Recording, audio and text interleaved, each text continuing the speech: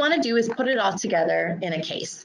Um, so we're looking at a 52-year-old male who presents with hematuria, um, goes to the ER, undergoes a CT urogram showing a bladder mass.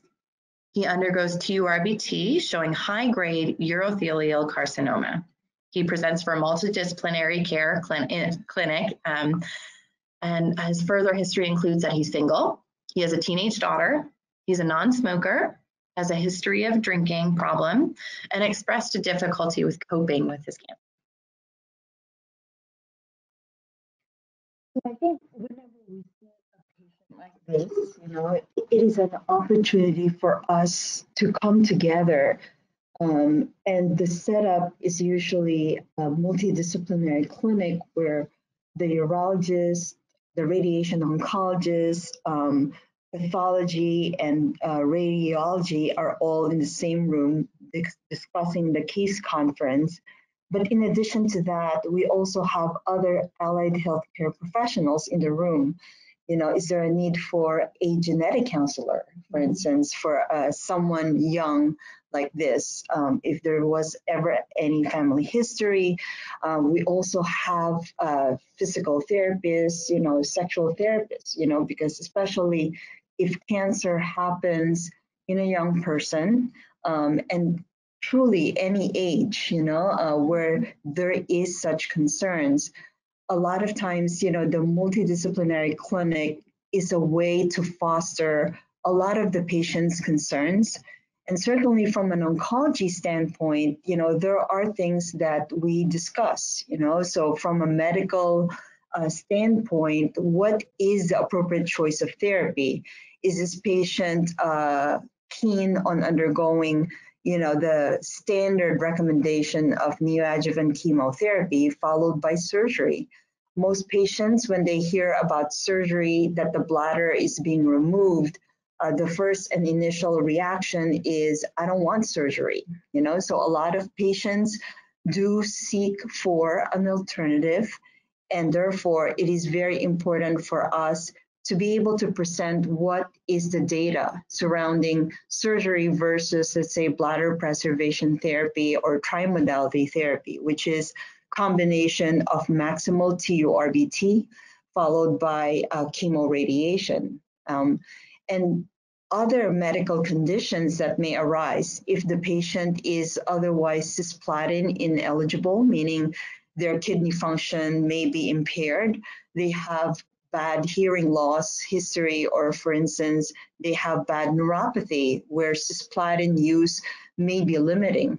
So a lot of those, you know, factors we have to take into consideration when we see the patient. We review the pathology. Every so often, we find that the pathology is not read as it should be, um, and we may find that the uh, diagnosis may not be what we think it is.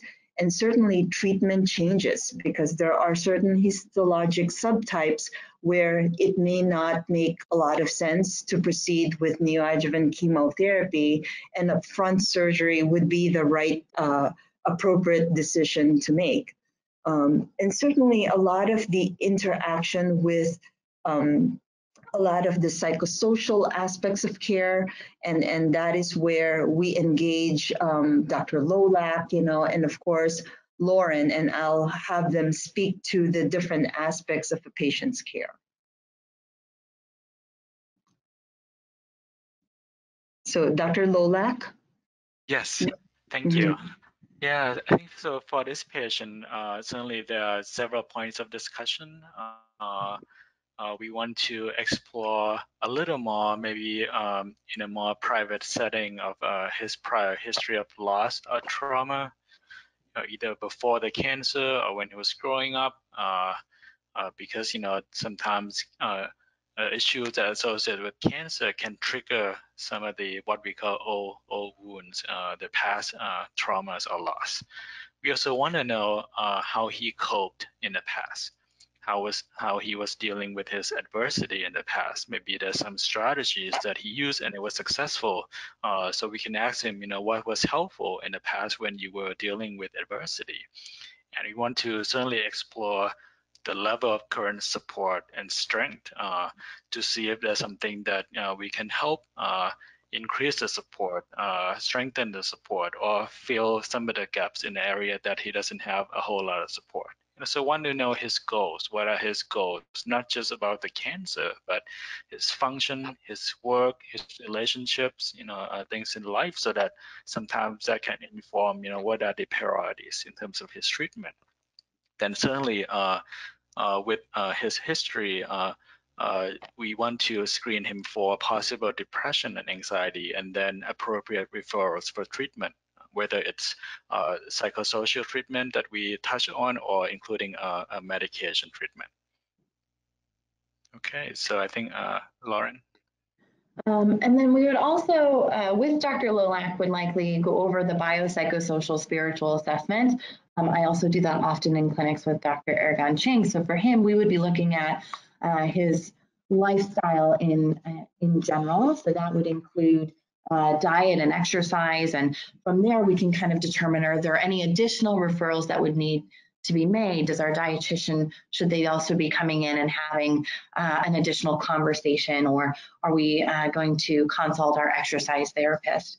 Uh, looking at home life, so that includes support at home, both emotional and physical, um, ability to navigate the home. Are there stairs that will be difficult uh, during therapy or uh, in after surgery?